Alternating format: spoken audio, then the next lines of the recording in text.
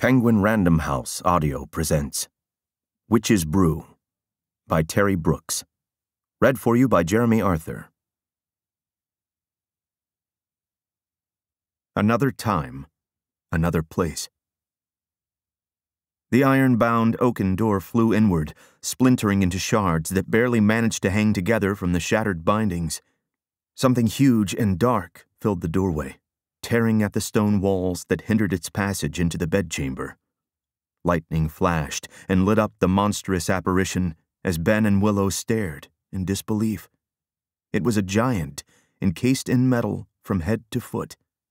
Bunion clung to the creature, ripping at it with teeth and claws, but the thing didn't even seem to notice the kobold. My God, Ben thought, it's a robot. to Lisa for always being there, and to Jill, because you must never give up on yourself. All children, except one, grow up. They soon know that they will grow up, and the way Wendy knew was this. One day, when she was two years old, she was playing in a garden, and she plucked another flower and ran with it to her mother. I suppose she must have looked rather delightful, for Mrs. Darling put her hand to her heart and cried, Oh, why can't you remain like this forever? This was all that passed between them on the subject, but henceforth Wendy knew that she must grow up. You always know after you are two. Two is the beginning of the end.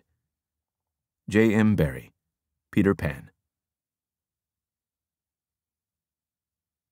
Mistaya. The crow, with the red eyes, sat on a branch in the towering old white oak where the leafy boughs were thickest and stared down at the people gathered for their picnic in the sunny clearing below. That was what Holiday called it, a picnic.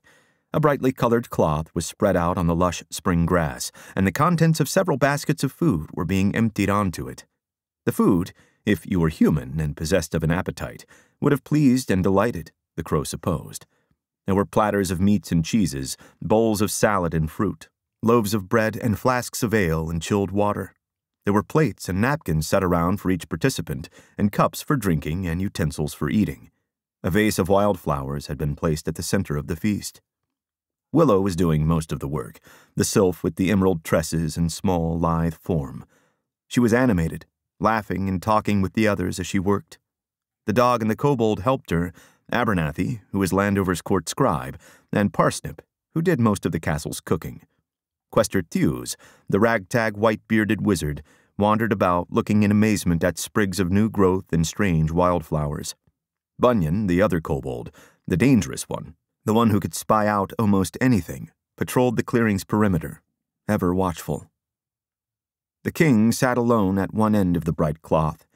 Ben Holiday, High Lord of Landover, he was staring out into the trees, lost in thought. The picnic was his invention, something they did in the world from which he came. He was introducing it to the others, giving them a new experience. They seemed to be enjoying it more than he was. The crow, with the red eyes, sat perfectly still within the concealment of the branches of the old oak, cognizant of the adults, but really interested only in the child. Other birds, some more dazzling in their plumage, some more sweet with their song, darted through the surrounding woods, flitting from here to there and back again, mindless and carefree. They were bold and heedless. The crow was purposefully invisible. No eye but the child's would be cast, no attention but the child's would be drawn. The crow had been waiting more than an hour for the child to notice it, for its unspoken summons to be heeded, for its silent command to be obeyed, and for the brilliant green eyes to be drawn upward into the leafy shadows. The child was walking about, playing at this and that, seemingly aimless, but already searching. Patience, then, the crow with the red eyes admonished. As with so much in life, patience.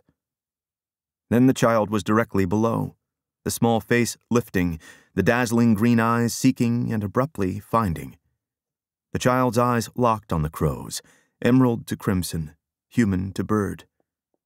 Words passed between them that did not need speaking, a silent exchange of thoughts on being and having, on want and loss, on the power of knowledge and the inexorable need to grow. The child stood as still as stone, staring up, and knew there was something vast and wondrous to be learned if the proper teacher could be found. The crow with the red eyes intended to be that teacher. The crow was the witch, Nightshade. Ben Holiday leaned back on his elbows and let the smells of the picnic lunch bring a growl to his empty stomach. Breakfast had been hours ago, and he had been careful to refrain from eating anything since. Thank goodness the wait was almost over. Willow was unpacking the containers and setting them out, aided by Abernathy and Parsnip. Soon, it would be time to eat.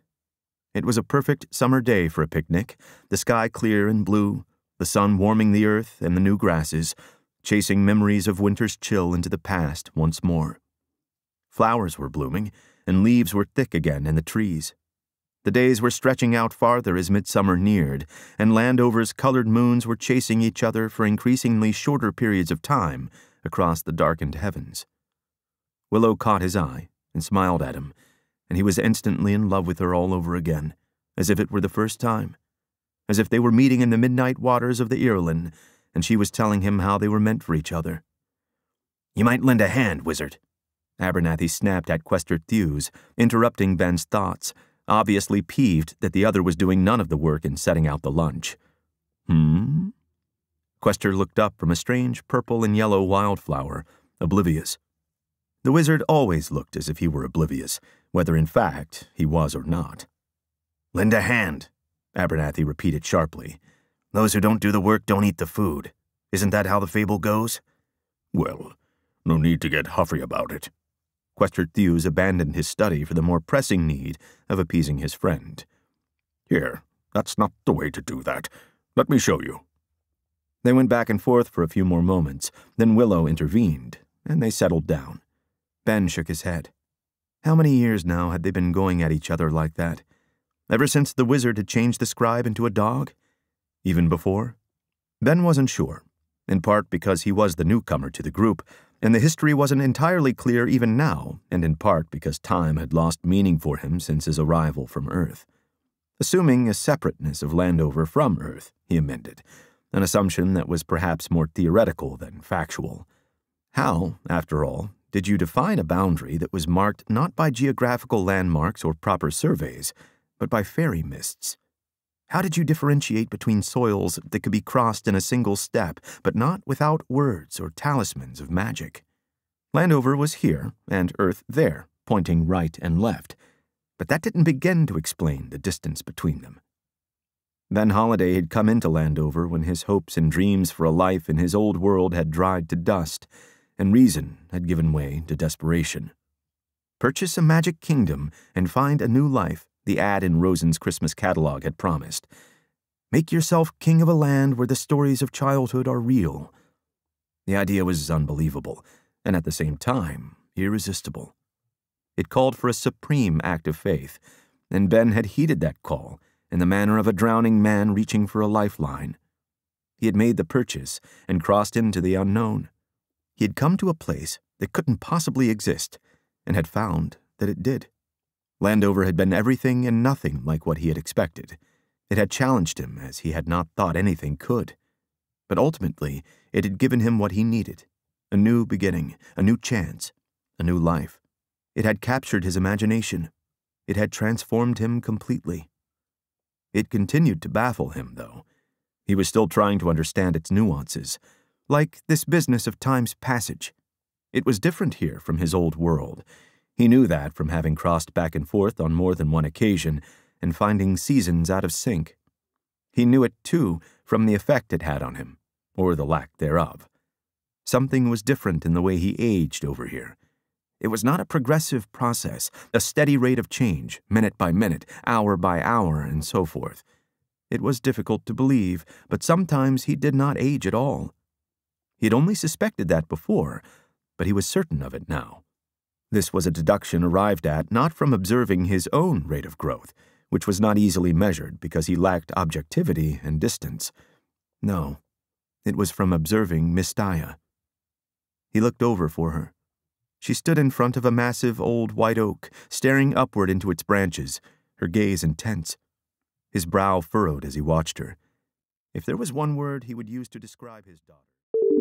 We hope you enjoyed this preview.